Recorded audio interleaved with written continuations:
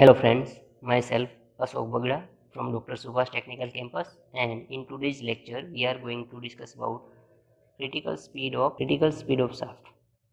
But in, in this case we consider critical speed of shaft carrying a single rotor.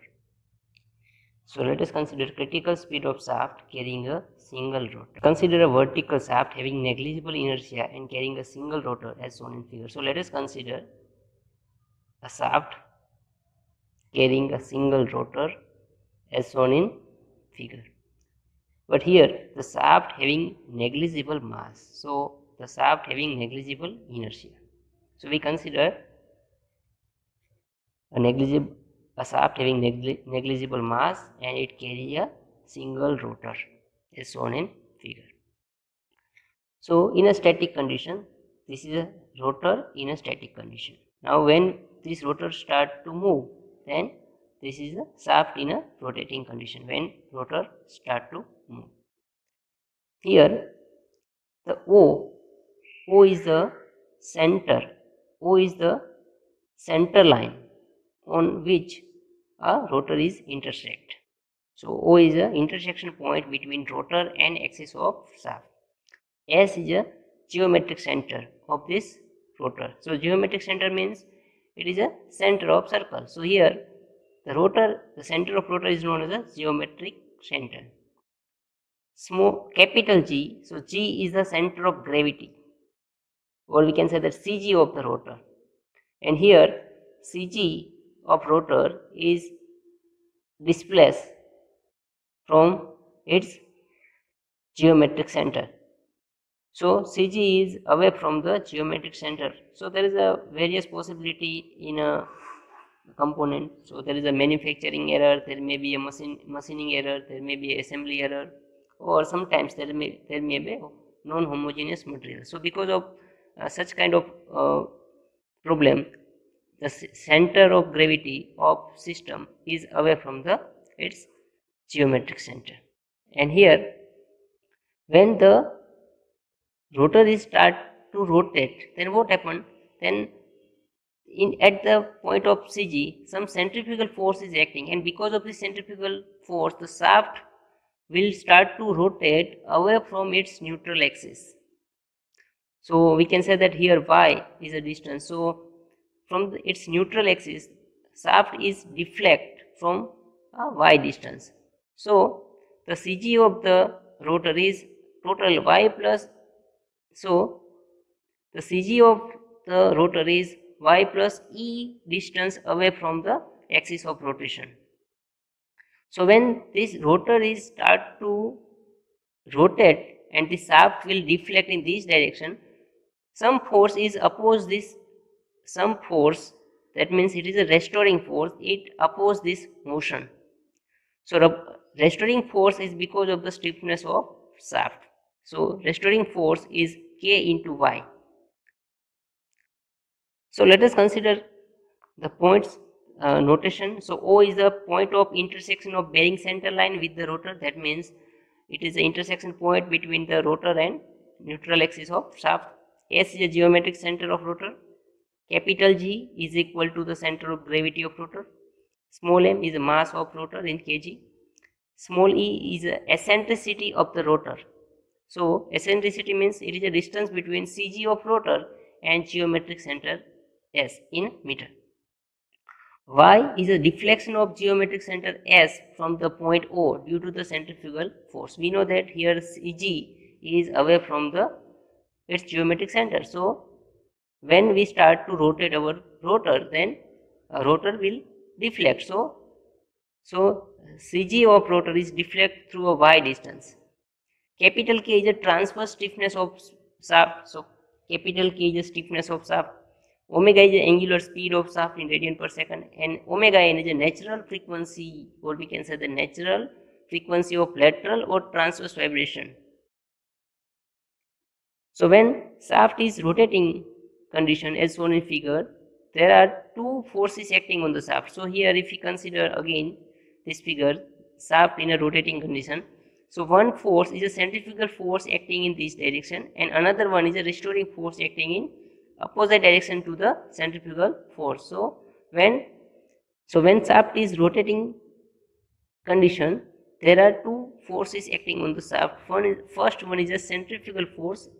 So we know that centrifugal force is m omega square into we consider r, but here r is equal to small y plus e. So from the neutral axis to the so y is r is a distance between neutral axis to the CG. So here total distance is y plus e. So it is a r. So centrifugal force is equal to m omega square into y plus e in a radially outward direction. Restoring force is a stiffness into displacement or a deflection. So stiffness is capital K and deflection of shaft is y. So k into y. Now and this force is inward direction through the points G. Now in equilibrium condition, the centrifugal force is equal to the restoring force. So we can write m omega square in bracket small y plus e bracket complete is equal to capital K into y. So if we expand this equation then m omega square into y plus m omega square into e is equal to k into y. So we can again rewrite this equation ky minus m, y, m omega square y is equal to m omega square e. So if we take a y as a common, so we get y in bracket capital K minus m omega square into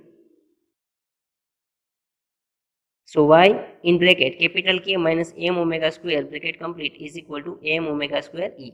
So we get y is equal to m omega square e upon capital K minus m omega square. So again we can rewrite so y is equal to if we divide a numerator and then a de denominator by a case then we get y is equal to m omega square e divided by k upon 1 minus m omega square divided by k. Now again we re rearrange this equation so y is equal to omega square e divided by k by m upon 1 minus in a bracket omega square upon k by m brackets complete. So here we know that k by m is nothing but so we know the equation of natural frequency omega n is equal to under root k by m. So k by m is equal to we can put omega n square. So here y is equal to omega.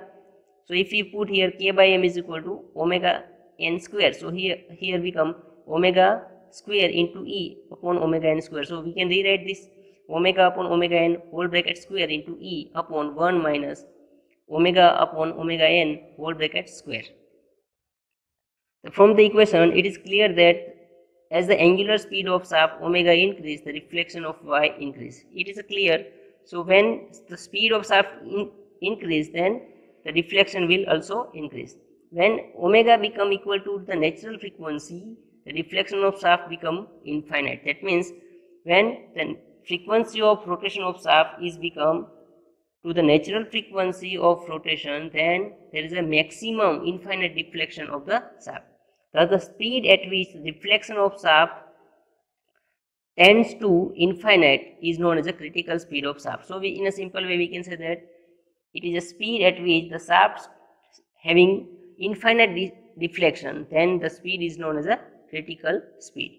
Therefore, the critical speed of or whirling speed of shaft is given by. So we know that the critical speed is nothing but it is a natural frequency or a natural speed. So omega c is equal to under root k by m. So omega c is equal to we can rewrite this equation because here k is equal to force into force divided by delta and m is equal to so here k is equal to force divided by delta. And if k is equal to f is equal to we can say that g mg so mm cancel. So we get omega c is equal to g by delta in radian per second. So in a speed in a critical speed we can say that uh, natural frequency natural speed is equal to omega c upon 2 pi. So we get nc is equal to 1 upon 2 pi root g by delta in revolution per second. So here NC is a critical speed in RPS, delta is a static deflection of shaft and we get this equation static deflection y is equal to sorry here y is a dynamic deflection and delta is a static deflection. So small y is equal to in a bracket omega upon omega c because we replace omega n as a by omega c.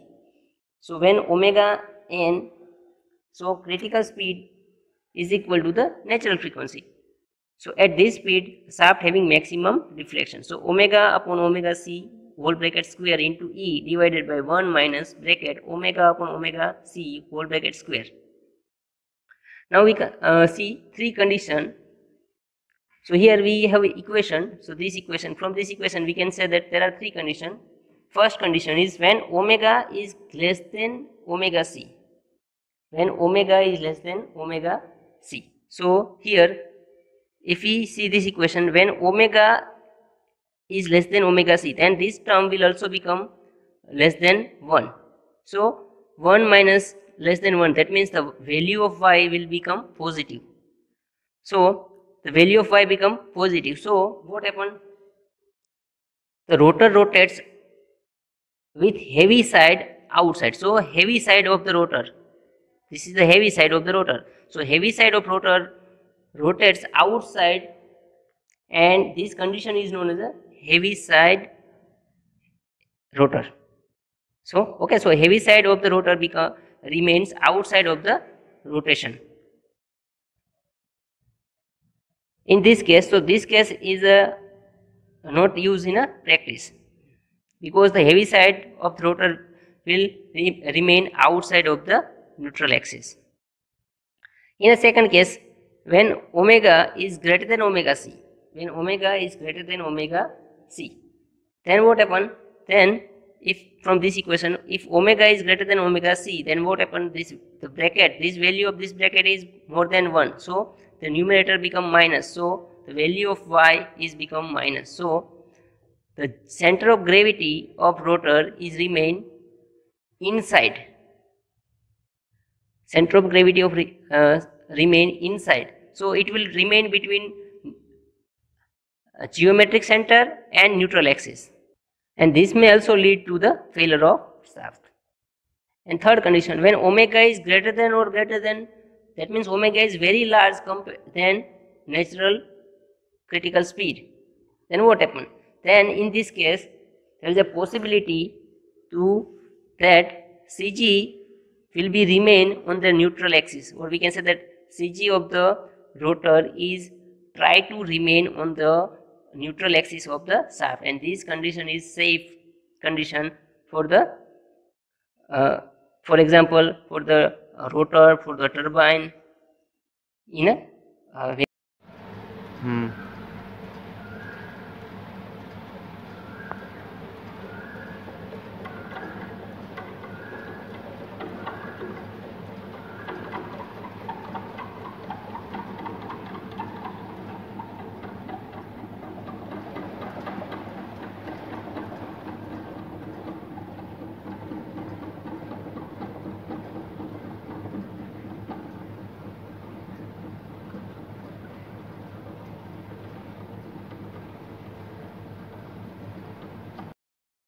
Thank you.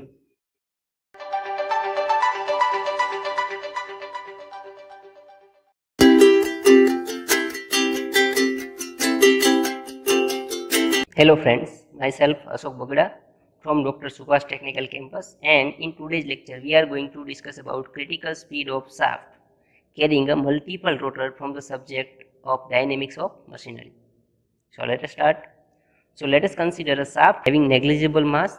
So the shaft having negligible inertia, carrying a rotors, multiple rotors, having mass m1, m2, m3 and m4 and so on. So consider a shaft having negligible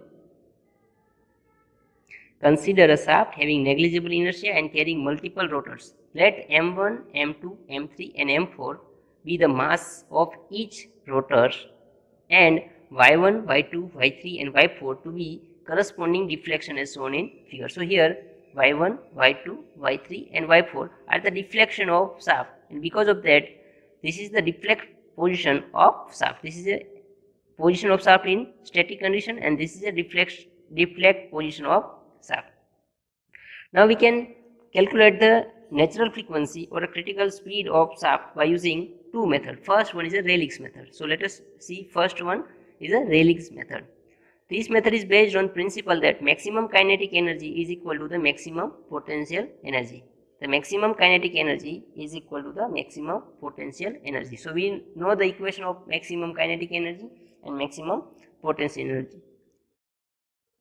So maximum kinetic energy, first of all, maximum kinetic energy is a total kinetic energy. So the kinetic energy because of this mass m1, kinetic energy because of mass m2, kinetic energy because of mass m3 and kinetic energy because of mass m4 so kinetic energy but maximum.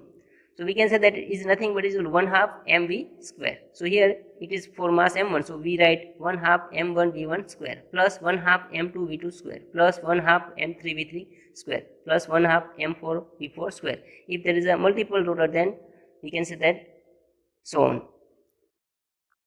We again rewrite this equation. Now we know that the velocity is nothing but omega into its uh, deflection from its neutral axis. That means omega into r. We generally write natural frequency sorry we generally write velocity is equal to omega into r. So here we rewrite this equation kinetic energy maximum is equal to 1 half m1 so v1 is equal to so the all the rotor having same speed. That means all the rotors we consider critical speed of shaft. So in a critical speed, the whole shaft, all the rotors are rotating with omega c critical speed. So 1 half m1.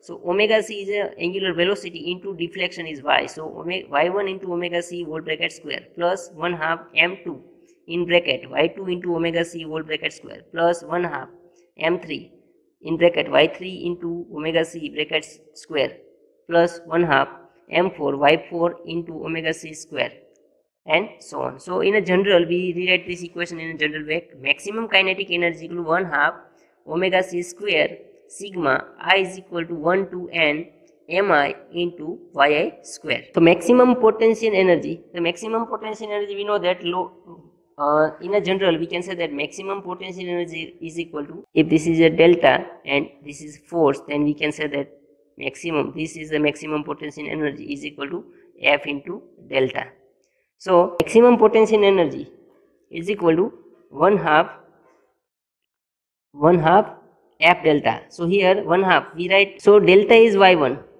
and f f is equal to nothing but is equal to force.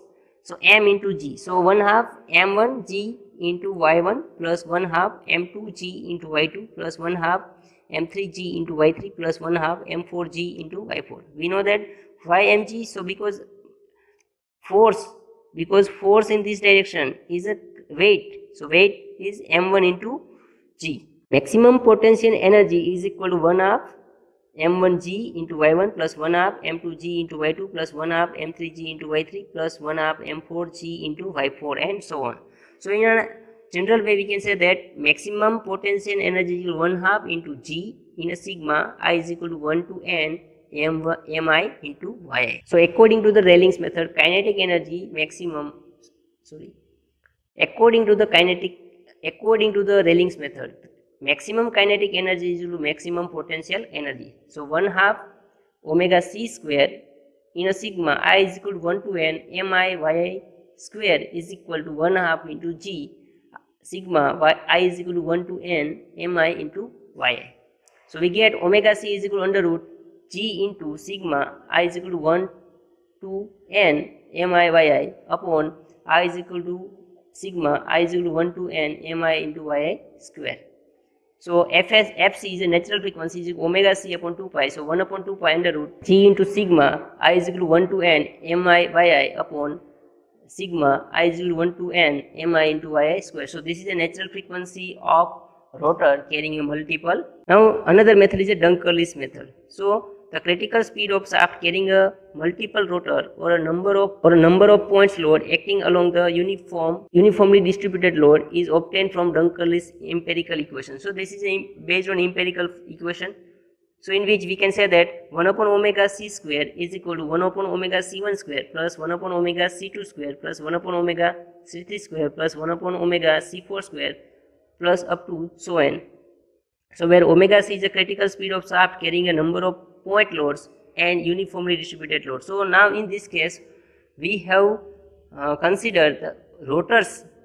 Because of the rot- mass of rotor some point is act- load is acting on the shaft. If we consider this is a rotor and these are the masses. So because of m1 mass some m1 g1 is force acting here m2 g2 is force acting here m3 g3 is force acting here and m4 g4 is force acting here so we can consider uniformly distributed load so omega c1 is a critical speed of shaft neglecting the mass and all the points load except point load. So we only consider only point load. Same way, omega C2 is a critical speed of shaft neglecting its mass and all the points load except points load 2. Similarly, omega C3, omega C4 and omega CS. So omega C is a critical speed of shaft considering its mass and neglecting all the points. So omega CS is a critical speed when we consider only its mass. And let us uh, consider delta 1, delta 2, delta 3. So static deflection of shaft due to weight, load W1, W2, W3 when considered separate, separately. And delta S is a static deflection of shaft due to self weight or a, due to the uniformly distributed load. So we know that natural frequency of transverse vibration or critical speed due to the load W1 is w, omega C1 is equal to root G by delta 1 Similarly, omega C2 is root G by delta 2. Similarly, omega C3 is root G by delta 3 and omega C is equal to root G by delta C. So if we put this value in this equation then we can calculate the critical speed of let us see one animation for a shaft carrying multiple rotor.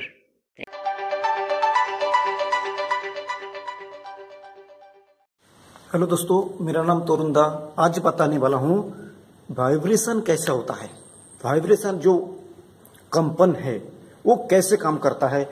दिखता कैसा है? वो मैं बताने वाला हूँ। दोस्तों, जो वाइब्रेशन होता है, एक सेफ्ट के ऊपर जो वाइब्रेशन होता है, जिसमें मोटर चलता है तो वाइब्रेशन होता है, उसमें उसका लाइफ डिसाइड होता है कि ये सेफ्ट जो है, कितना साल तक चलेगा, कितना रेवल्यूशन तक चलेगा, इसमें वाइब्रेशन कैसे ट्रांसफ़र होगा, इसके ऊपर काम करना। दोस्तों वार्लिंग एक साइंटिस्ट है जिन्होंने आविष्कार किया था वार्लिंग ऑफ़ सेफ्ट जो सेफ्ट का लाइफ दोस्तों, ये सेफ्ट है इस सेफ्ट का लाइफ डिसाइड करता है कितना सर्क चल रहा है। दोस्तों, जो कैलकुलेशन होता है, उसका नाम होता है स्टैटिक डिफ्लेक्शन क्या डिफ्लेक्शन होता है, वो मैं आपको दिखाने की कोशिश करूँगा, दोस्तों। इसके बाद होता है ट्रांसफ़र वाइब्रेशन कॉन्स्टेंट वाइब्रेशन और ट्रांसफ़र वाइब्रेशन ट्रांसफ़र वाइब्रेशन कैसे? One mode two another mode में आपका वाइब्रेशन ट्रांसफ़र हो रहा है। दोस्तों, वो मैं दिखाने की कोशिश करूँगा। दोस्तों, ये जो सेफ्ट है, जो सेफ्ट का वाइब्रेशन होता है दोस्तों, जिसमें अलग अलग मोड बनता है, जिसका नाम है transfer vibration that is mode है स्टैटिक डिफ्लेक्शन स्टैटिक डिफ्लेक्शन को मोड कहलाता है। दोस्तों, इसका तीन कंडीशन होता है। पहला कंडीशन जो सेफ्ट है, दोस्तों, ये आपको सेफ्ट दिख रहा है, आपका तीन एम का सेफ्ट है, जिसका दोनों कॉर्नर जहाँ से हमारा बियरिंग है फ्रिक्शन कम करने के लिए बियरिंग लगा हुआ है, उसका किस कंडीशन में किस कंडीशन में है? इसका पहला कंडीशन बोथ आर सपोर्टेड मतलब दोनों साइड का बियरिंग फ्री है। आराम से हिल रहा है बियरिंग वो कंडीशन होगा। तो दोस्तों, उसमें मोड सिंगल भी बन सकता है डबल भी बन सकता है। डिपेंड करेगा उसका डायमीटर उसका लेंथ के ऊपर। दोस्तों, हमारे पास जो ऑपरेटर आपके सामने दिख रहा है, इसका डायमीटर सेफ्ट का डायमीटर तीन एम है और जिसका लंबाई वन मीटर है। तो बोथ आर सपोर्टेड के लिए आपका मोड बनेगा सिंगल मोड बनेगा डबल मोड बनेगा। वन सपोर्टेड वन फिक्स जब एक साइड से सपोर्ट कर दिया जाएगा और एक साइड से फिक्स कर दिया जाएगा बियरिंग तो तो भाई दोस्तों एक सिंगल मोड बनेगा मैक्सिमम टू मोड बनेगा। दोस्तों बोथ आर फिक्स दोनों साइड से बियरिंग को फिक्स कर दिया जाए। दोस्तों, उसमें सिर्फ़ सिंगल मोड ही बनेगा, कितना भी आरपीएम चले। दोस्तों, इस कंडीशन से यह डिसाइड होता है जो जो आपका सेप्ट है, जो आपको यूज़ करना है। मोटर में यूज़ करना है सीलिंग फ़ैन में यूज़ करना है मशीन में यूज़ करना है आईसी इंजिन में यूज़ करना कहाँ भी आप यूज़ करिए, वो कितना रेवोल्यूशन तक चलेगा, कितना रेवोल्यूशन के बाद उसके अंदर वाइब्रेशन मीन्स स्टैटिक डिफ्लेक्शन आने वाला है। वो स्टैटिक डिफ्लेक्शन कैलकुलेशन बहुत ज़रूरी है। ज़रूर अलग अलग कंडीशन के लिए अलग अलग स्टैटिक डिफ्लेक्शन किया जाता है।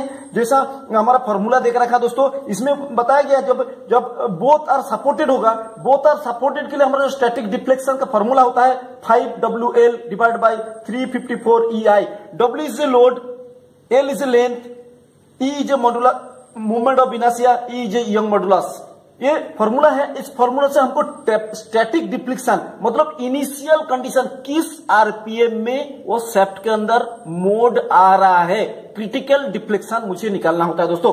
कैसे होता है? इसमें एक साइड से फिक्स कर दिया जाता है, एक साइड से सपोर्ट रखा जाता है और इसको बियरिंग को एक कांस्टेंट आरपीएम में मोटर के द्वारा ऑन कर दिया जाता है और वो उसका रिज़ल्ट बताता है। दोस्तों, मैं दिखाने की कोशिश कर रहा हूँ, ये हमारा ऑपरेटर है जिसमें एक मोटर के साथ फिक्स है, इसमें रेगुलेटर लगा हुआ है, जैसे आरपीएम आपको चलेगा, वहाँ पता जाएगा, ये हमारा सेफ्ट है, जो एक गार्ड के थ्रू है।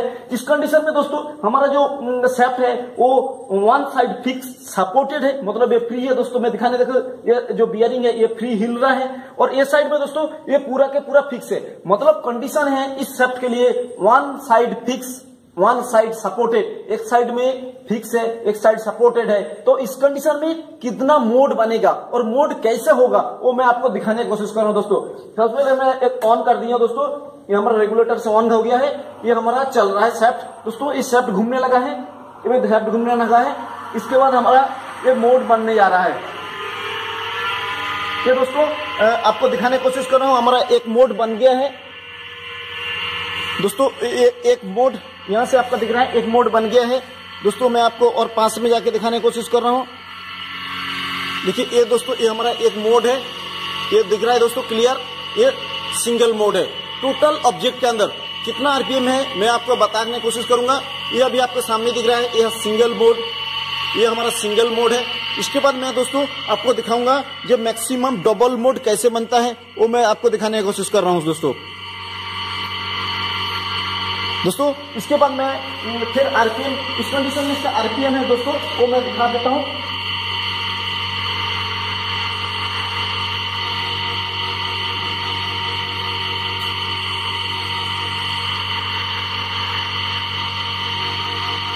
इस समय हमारा जो सिंगल मोड बना है, उसका आरपीएम है two seven three two RPM है दोस्तों। ये टेकोमीटर है, जो आरपीएम हमने मेजर करके आपको बताया। सत्ताईस सौ बत्तीस आरपीएम है। दोस्तों, इसके बाद मेरा कंडीशन है सेकंड मोड बनाना है। जिसमें दोस्तों सिंगल मोड देख रहे हैं। इसको और इंक्रीज कर रहा हूँ। और इंक्रीज कर रहा हूँ। और इंक्रीज कर रहा हूँ। दोस्तों, हमारा डबल मोड आगे है।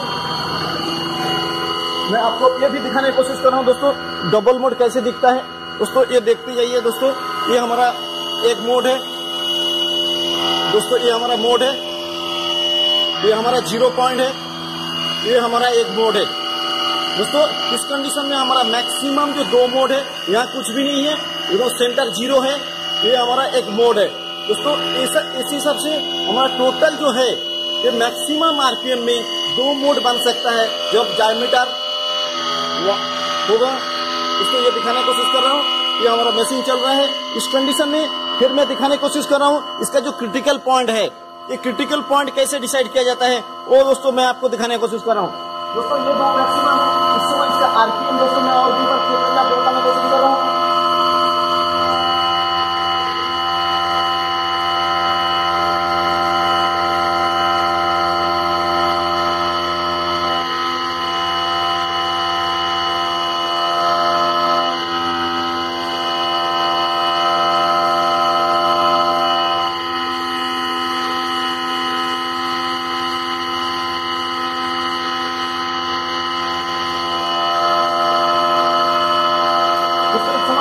आरपीएम है, वो तीन हज़ार आरपीएम है।